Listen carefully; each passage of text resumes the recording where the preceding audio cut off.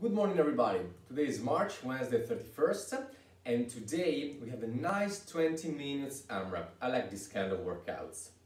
The workout is for 20 minutes as many rounds as possible of 600 meters on the bike if you have an assault bike or a Rogue Echo Bike then 15 Russian swings 24 kilos for the men and 16 for the ladies and 10 hollow rocks we're gonna now see our three different groups upper body athletes today nothing really changes a lot you can do the bike if you have one or you can use another machine just don't forget to convert the distance. You can do Russian swings with your sound arm and you can do hollow rocks. The only thing that comes to my mind is that uh, performing hollow rocks uh, with only one sound limb, in your case maybe one sound arm, well this can create a sort of imbalance. So let's pretend that your right arm is the sound limb. So your right arm will be straight behind you and you can fully extend both of your legs. This can create a sort of imbalance. So here's my suggestion.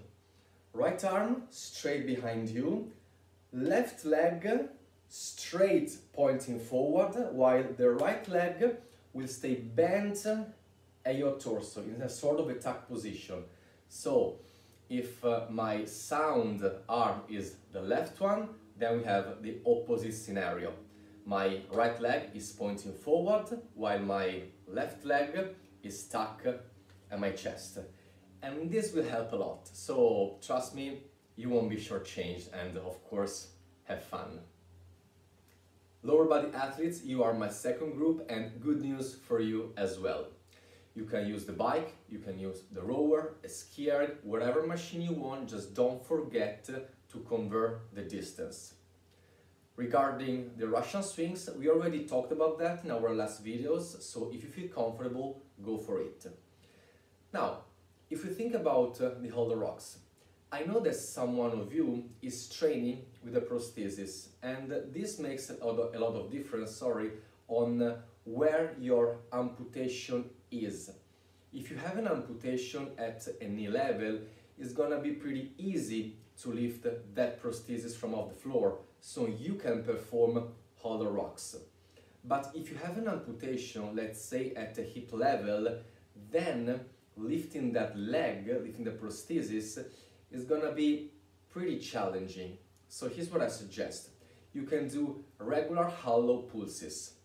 You're gonna start from uh, a laying down position. So of course, uh, the back is uh, on the floor and you're gonna watch the ceiling arms are straight and whenever you want you're gonna do a pulse a pulse means uh, that always keeping your lower back down you're gonna lift your shoulders and your arms regarding the upper body if you talk about the lower body you're gonna just lift your sound leg always keeping your foot pointing forward while the prosthesis will remain on the floor 10 repetitions of hollow pulses and uh, you're gonna have fun.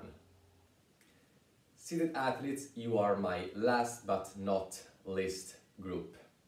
The first exercise, 600 meters on the bike, you can decide. You can use the bike. If you remember, we had Rachel showing us the movement, only arms. You can use the rower, our first video ever of Linchpin Adaptive. You can use a ski erg. The distance remain the same, 600 meters on the bike and all the due conversions on the other machines. The Russian swings, 15 Russian swings, will be performed. You're gonna use two light kettlebells and you're gonna do 15 Russian swings. Regarding the hollow rocks, I want to challenge you with a great core exercise. So you can use two weights, could be two kettlebells or two dumbbells and you're gonna do 20 seconds of front rack hold. So let's pretend you use two kettlebells. You're gonna stay here. I want both of your thumbs touching your chest and uh, your elbows pointing lateral and down. I don't want your elbows here. This is definitely too easy and we're not challenging anything. So this is the right position and keep your belly tight. If you are an athlete with a hip function, what I ask you is try to stay as straight as possible with your torso without leaning back on the seat of your chair. But uh, if you are an athlete that has no hip function, it's okay, of course, to lean back on the seat of your chair. Just try to hold this position for 20 seconds and uh, you're not going to be shortchanged, of course. We're done for this week and uh, have fun for the rest of it and uh, talk to you next Wednesday. Bye.